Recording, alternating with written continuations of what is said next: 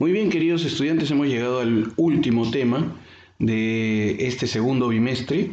Así que en este tema vamos a hablar sobre lo que sería el primer militarismo en el Perú. Luego de que ya hemos hablado sobre los cambios que se dieron en esta nueva república, vamos a reconocer los primeros gobernantes que nosotros tuvimos. Hagamos un recuento de lo que serían estas características a inicios de la, república. Se paralizó el aparato productivo, producto de guerras de la independencia que tuvimos, la producción agrícola y minera habían caído y los circuitos comerciales estaban debilitados. Uno de los principales ingresos del Estado era el tributo indígena, por lo cual se mantuvo después de que eh, San Martín haya declarado la independencia y habiéndolo anulado, esto se tuvo que restituir.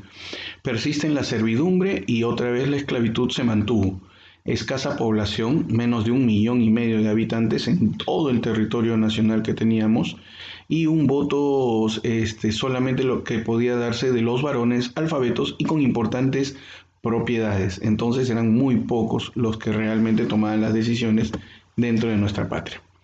¿Cuáles eran las características al iniciar esta república? Bueno, pues territoriales hablamos sobre dos principios, ¿te acuerdas? El uti possidetis y la libre determinación de los pueblos.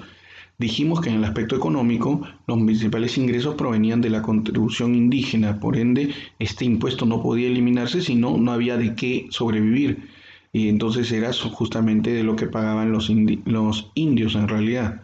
En las políticas, bueno, se va a hacer un gobierno militar, los militares asumen ante la crisis política que se estaba dando y se mantuvo en lo social la misma diferencia de clases que existían anteriormente de la independencia. Por ende, algún cambio real no hubo más que el de la República, porque las personas siguieron sintiéndose de la misma forma al momento de haberse liberado. Para 1827 los territorios que nosotros teníamos eran los que observas tú. Entonces habíamos ganado por libre determinación de los pueblos los territorios de Jaén y Mainas, y los territorios que perdimos eran los de Guayaquil, eh, de Ecuador realmente, básicamente, que eran territorios peruanos. ¿no? El primer presidente de la República va a ser el, José, el militar José de la Mar, eh, que va a estar gobernando durante los años 1827 a 1829. Él va a ser el primer presidente constitucional. Él encarnó a lo que se llamó un ejecutivo débil, tenía, porque tenía muchos opositores como Agustín Gamarra, Gutiérrez de la Fuente, Andrés de Santa Cruz, que no estaban de acuerdo con, él. ¿no? Él creó este, una constitución que fue la de 1828, a la cual le denominó la madre de todas las constituciones. Quien dijo ello fue porque Manuel Villarán fue el que la, la realizó y, e investigaron mucho y, e hicieron una muy buena constitución para la época se dio la guerra con la Gran Colombia. Y esta era por la ambición de Bolívar por tener territorios de Tumbe, Jaén y Mainas y apoderarlos para lo que sería la Gran Colombia. Como ustedes recuerdan, ya se había ido Bolívar del Perú y entonces llega a ser presidente de la Gran Colombia y le declara la guerra al Perú en ese momento. Por eso es que con Bolívar tenemos un, amor-odio los peruanos, porque si bien es cierto, él llegó al Perú por, para libertarnos al fin y al cabo con Sucre, que en la batalla final de Ayacucho, también tenemos que saber que él primero se fue y nos dejó una gran deuda externa con él y con todas las huestes que vinieron a luchar por la independencia del Perú. Y después de eso nos declara la guerra como presidente de la Gran Colombia por territorios que eran de nosotros. Esa guerra la ganamos nosotros. Entonces, al ganarla, debería quedar dentro de los anales de la historia del Perú como lo más importante que deberíamos tener. Pero bueno, no ha sucedido de esa manera. Se dio la rebelión de los ichicanos, eh, los cuales querían volver a ser colonia de España porque no veían ningún cambio real. Esto sucedió en Ayacucho, a, cargo de José Navala Huachaca, que era su líder. Eh, bueno, en la guerra que tuvimos con la Gran Colombia, las batallas y los combates terrestres fueron ganados por nosotros, pero al final eh, se firmó un convenio para cerrar de una vez eh, la guerra y este fue el convenio Girón Tratado de la Reagual, donde de una vez quedaron en entregar algunos territorios peruanos y, mantener otros territorios. Bueno, no se ganó realmente en territorios, pero la guerra sí la ganamos porque todas las batallas fueron, fuimos vencedores. Este es este, un mapa conceptual de lo que sucedió, ¿no? La causa fue por una ayuda peruana a Bolivia, se expulsaron tropas colombianas del Perú, la MAR no aceptó la petición de Bolívar de entregar Tumbes, Jaén y Mainas, y, Bolívar declara la guerra a Perú, ¿no? Eh, eso es algo que hay que comenzar a entender. Las campañas fueron marítimas y terrestres. En las marítimas estuvieron a, cargo de Martín Guise y las consecuencias es que la escuadra peruana llega a ocupar Guayaquil. ¿no? En las terrestres estuvo a cargo de José de la Mar, que posteriormente se hace presidente, acompañado de Agustín Gamarra y Luis José Orbegoso, que también van a ser presidentes de la República en otros momentos. Sus acontecimientos más importantes, la batalla en Saraguro y batalla de Portete de Tarqui que ganamos, y la consecuencia fue haber firmado un convenio que de verdad no fue provechoso para el Perú. Ok, bueno, avanzando, avanzando sobre eso, vamos a decir que posteriormente a la mar llegó Agustín Gamarra, que bueno, fue un gobierno al que se le consideró el primer gobierno ejecutivo fuerte, donde el presidente era considerado alguien con mucho poder, pero increíblemente al costado de él hubo alguien que lo apoyó, que fue su esposa, denominada la Mariscala, que se llamó, que se llamó Francisca Subiaga, muy conocida y con lo cual se hace un paralelo con lo que fue el gobierno de Nadine Heredia y Ollantumala, ¿no? Pero aquí Agustín Gamarra sí se dice que tuvo mucho poder, solamente que ella también era una mujer fuerte, ¿no? Ambos casos. Eh, bueno, tuvo opositores como Francisco de Paula González Vigil, que dio un discurso en el cual dijo una frase que se acuñó para la posteridad, es yo debo acusar, yo acuso. Y hablaba sobre lo que se estaba haciendo mal en el gobierno de Agustín Gamarra sin temor a lo que le pueda estar sucediendo. ¿no? Y esto era porque había un debate entre los políticos liberales versus los, eh, la gente que lleva el poder. ¿no? Unos defendían el poder legislativo y otros en la defensa del poder ejecutivo. Entonces aquí teníamos a Agustín Gamarra, obviamente que él estaba en defensa del ejecutivo, con Felipe Parroy Aleaga, José María Pando, y en defensa del poder de la libertad estaba eh, Francisco de Paula González Vigil, se encontraba Luna Pizarro y Francisco María Tegui. ¿Qué principales hechos hubieron en el gobierno de Gamarra? Bueno, pues se creó el Departamento de Amazonas, se creó la Maternidad de Lima, se reorganizó la Casa de la Moneda, se inició la explotación del salitre de Tarapacá, con lo cual comenzó a haber una, un ingreso, se firmó el Tratado La Reagual, se firmaron con Bolivia los tratados de Tiquina y Arequipa, se eh, desintegración de la Gran Colombia en esa época y se firmó el Tratado Pando Novoa con el nuevo país de Ecuador. Él termina su gobierno en el año 1833.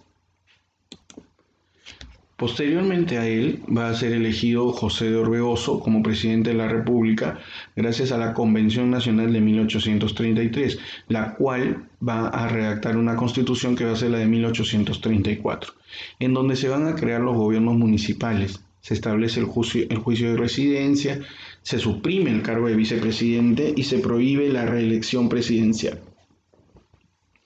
Eh, se crea la Sociedad de Beneficencia de Lima y eh, Orbegoso va a tener un problema porque va a sufrir el golpe de Estado Felipe Santiago Salaverre, el cual va a ser proclamado jefe y legislador supremo de la República en el año de 1835. Durante a sus 29 años siendo el presidente más joven de la República, se convierte en el presidente eh, y él hace un, bueno, asumiendo la presidencia de la República, va a estar en lucha contra el pacto que se hizo entre Santa Cruz y Orbegoso. Recuerden ustedes que, este, que a Orbegoso él lo saca del, poder, entonces va a tener un apoyo de Santa Cruz, quien va a ser eh, presidente de, de Bolivia posteriormente también. Principales hechos que, que van a tener en su gobierno de, un año y meses, restableció la Dirección General de Aduanas, se impuso severas penas contra el contrabando, eliminó la contribución de castas, estableció el Tribunal del, del Consulado, restableció el tráfico de esclavos, dio la pena de muerte para los funcionarios ladrones o corruptos y se dio la rebelión de León Escobar. Tuvo una guerra que se declaró contra Santa Cruz. Salaverry afrontó drásticamente la guerra a la que llamó Segunda Guerra de Independencia. Se dieron la batalla de Yanacocha, donde este, derrota a Gamarra, batalla de Ochumayo, victoria de Salaverry, y batalla de Socabaya, que va a ser la derrota total de Salaverry en ese caso. Ok, bueno, eh, hay que decir que este, ahí es donde al perder Salaverry asume pues la presidencia de la República eh, eh, Santa Cruz. José de Santa Cruz, él al asumir el cargo de presidente, él va a crear lo que sería la Confederación Perú-Boliviana, donde él asume el cargo total de presidente de Bolivia, de este estado, que había sido creado justamente por Simón Bolívar. Y entonces Santa Cruz, como presidente de él, va a, colocar y va a tener como presidente del, estado norperuano y surperuano a otros, eh, a otras, em, van a tener cada uno su propio presidente, su propia su propia capital y él va a ser considerado como el que va a estar con, en la calidad de, de protector del Perú. Se le va a dar esa protección del Perú por el tiempo de 10 años y va a promulgar los códigos civil, que va a ser el Código Civil Napoleónico, una copia, el Código Penal y el de enjuiciamiento, que era para toda la Confederación Perú-Boliviana declaró puertos libres al puerto del Callao, al de Paita, al de Arica y al de Cobija, okay, Cobija de lo que sería el pueblo boliviano. Eh, bueno, básicamente es eso lo que se realizó en el gobierno de la Confederación Perú-Boliviana desde el año 1836 a 1839. En el año 39 va a darse que asume en el Congreso de Huancayo se ratifica a Gamarra como presidente, dándole el título de restaurador del Perú y disolviendo lo que sería la, Confederación Perú-Boliviana. Entonces va a ser el restaurador del Perú, en este caso Agustín Gamarra, desde los años 1839 hasta el 41, como presidente del Perú, otra vez del Perú unido. ¿no?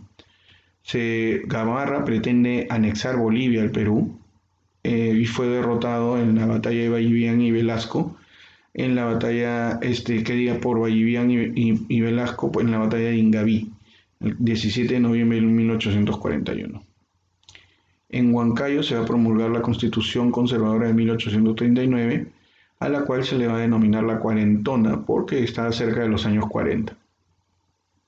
Se inició la venta de guano por arrendamiento se da un auge de la corriente costumbrista y se da la revolución de Vivanco de 1840. Se va a crear en esta época el diario El Comercio y el Colegio Guadalupe. Bueno, con esto nosotros concluimos lo que se, denominaría el primer militarismo y con eso concluimos lo que toda la historia que hemos estado narrando hasta este momento del segundo bimestre hasta este tema va a llegar el examen que vamos a tener el día 4 de septiembre. Muy bien, muchas gracias chicos y nos encontramos en la siguiente clase.